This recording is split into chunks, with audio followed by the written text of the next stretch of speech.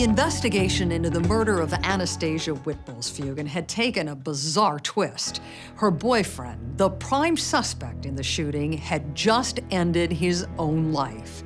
But instead of closing the case, his suspicious suicide only deepened the mystery.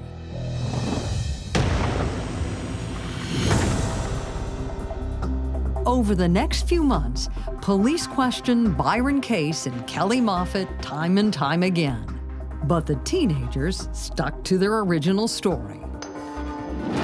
Everybody that I know were absolutely convinced that Byron and Kelly both knew more than what they were telling anybody. And that included Anastasia's father, Bob WitbolsFeugen. He was certain that his daughter's death was not the result of a murder-suicide.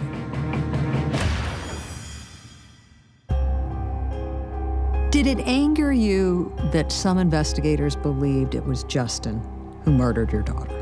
Yeah, I was pretty upset with the, the investigation for trying to write it off that way. Did you get the sense there was a rush to judgment? A rush to judgment would be a good description. Bob WitbolsFeugen refused to allow the case to be closed. What specifically did you do to try to push forward the investigation? People who knew her wanted to say things. I wanted to go out and meet these people. I went out and investigated. A reward was posted for information Bob spent countless hours retracing the routes Anastasia might have taken after she got out of Justin's car.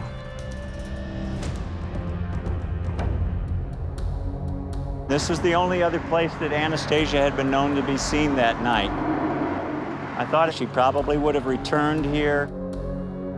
Bob played out every scenario of what might have happened that night, but he never understood how his daughter could have wound up dead in a desolate cemetery.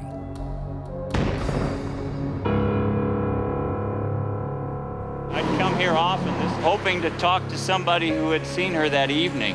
And as the weeks slipped by, I worried. I could not do anything else. Those weeks slowly turned into years, and the investigation stalled. I think the police continued to try to investigate. They tried to interview other people, but it really didn't go very far. There was, there was nothing left to look at. Did you ever get to the point where you became convinced that the case would never be solved? I fought. I was kind of like a thorn under somebody's saddle. that that I would not let it go. It was not an answer that I could accept. And not if I can help it. I think my whole family was nervous that the case might go unsolved, not knowing for sure like what had happened. It was very troublesome.